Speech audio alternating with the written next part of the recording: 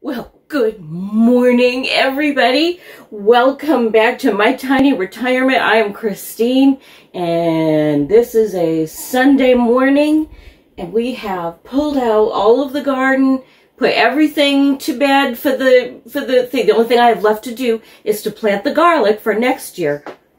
But you guys, pay no attention to the kitchen. But can you see all the tomatoes I have left. So I'll be doing something with those. Look at all the green tomatoes. These are never going to ripen. They'll never ripen. So I got up this morning and I decided I am not going to let them go to waste. And I'm going to do something I've never done before. I'm going to make green tomato ketchup. I like fried green tomatoes, but that's a lot of work for a Sunday. I like green tomato salsa. I don't feel like doing that. I like green tomato relish. I don't feel like doing all of that stuff. And so I thought some green tomato ketchup. I've never made it before. Let's see what happens.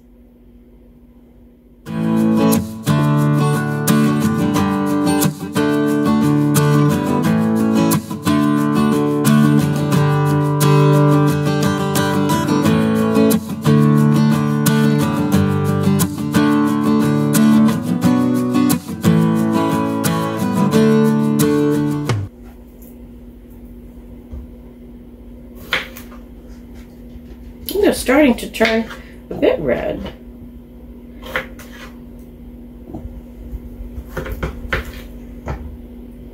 They're kind of red.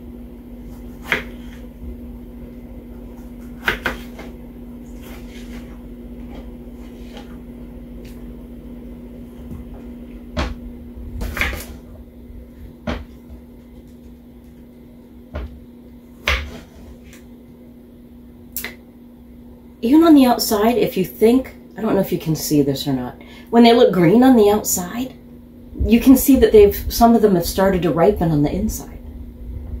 I always wondered why green tomato ketchup turned red.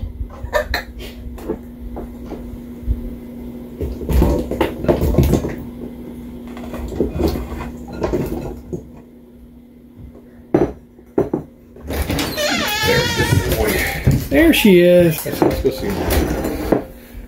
Are you gonna make ketchup? Yeah.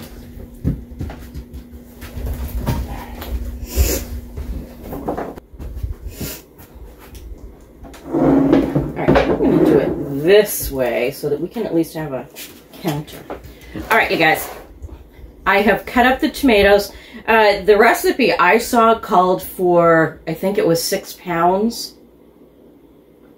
I don't know how many pounds this is. Now this is all of the green tomatoes that I had. You know all right, so what you do? You need. Now I think this called for like one and a half teaspoons of ground mustard, but I think it was for about half the tomatoes that I have. So I am going to use. To be quite honest, I'm going to eyeball it. I'm going to put in what I think it ought to be. So this would be probably a tablespoon of ground mustard.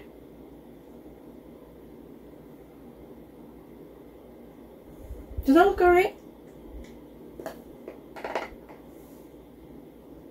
Maybe one and a half tablespoons. I might regret that. If you like ground mustard, put, put a little more if you want. So, ground mustard.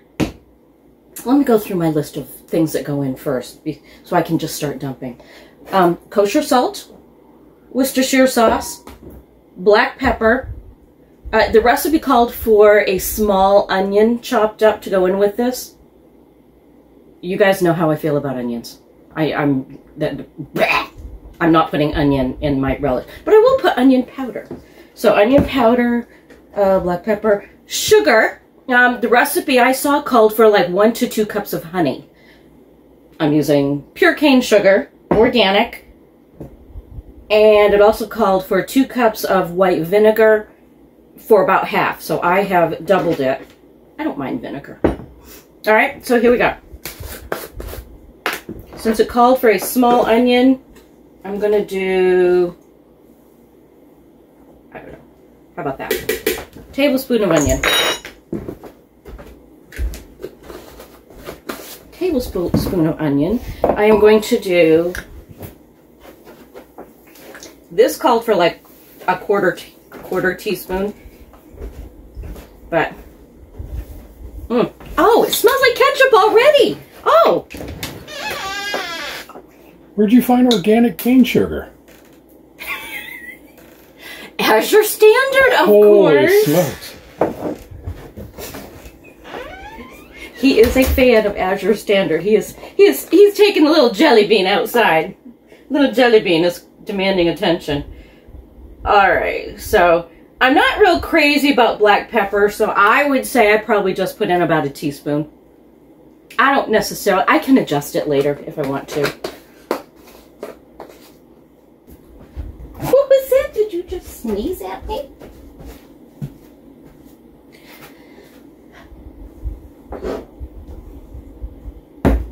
All right. Um, the recipe that I had called for pickling spices. Put them in a little cheesecloth or an herb ball or a you know, you know make a little satchel and put them in at this point. I don't happen to have any pickling spices, so I'm going to leave it out, and I will just use you know just keep it really basic. So then you take your vinegar. I hope my pot doesn't overboil. Boil over, overboil.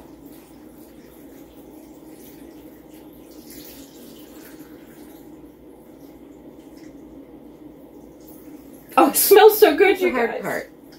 Okay, so you saw that I have, let me move all of this garbage out of your way. So you see that I have salt and sugar. This goes in at the end as you're um, boiling it down to season to taste. What I need to do right now is I need to simmer this and cook it on the lowest setting that I have on my stove for about four to five hours, maybe longer. This is gonna drive Mitch crazy. This is gonna be awesome. oh, it's gonna drive him crazy. Okay, um, where's my cover?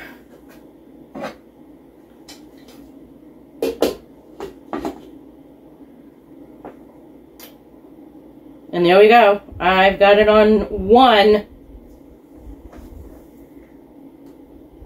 I'll see you guys in about four to five hours. I'm going to check this in between. I'm going to stir it, um, you know, making sure everything turns and does what it's supposed to do. And just keep an eye on it. I'll be back. Oh, Gerard just came in, everybody. I'll see you guys in a little bit. Okay, guys, here we are back with the green tomato ketchup. As you can see, it has been a couple of days. Um, this took way longer than I thought it would to cook down. Um, and by then I was tired and it was nighttime, so I just put a cover on it, put it in the fridge. I, once it cooled down, well, this was a couple days ago, and as you can see, a lot has happened. the hair is gone. I had one of those days where the hair was in my face. It, it was warm and muggy, humid. It was gorgeous out, but my hair was just sticking to me, and the sweat was everywhere. And Mitch walked in, and I was going. That's the sound of shears, in case you don't know what those are. All right.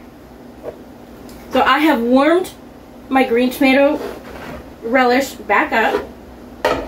I am going to put it through a sieve to get the uh, the big chunks out. I mean, you could put an immersion blender in here. You really could, and blend all this up. I'm not going to do that. And- oh my goodness. Okay, at this point, this is where you season it.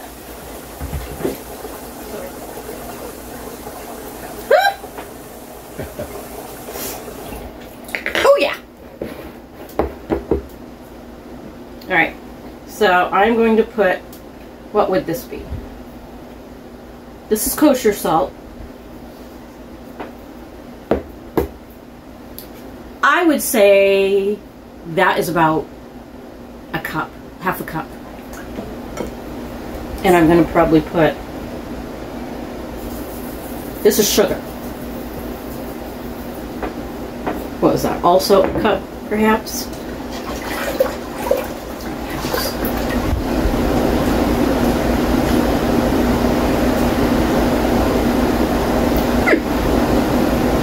Not bad. Oh yeah. Oh yeah. Do you want to taste this, Mitch? Sure. Coming in from behind. Here. Coming in from behind. Yeah. Right. Let's see. That's good. That is good, isn't it? And I'm not a ketchup guy. I know it, but that's good. All right. So what I'm going to do now? Mm, It's got some good. It, it does have some zing to it, doesn't Yeah, it? Even a little bit of heat. Yeah, it's just more tang than anything. I am going to simmer this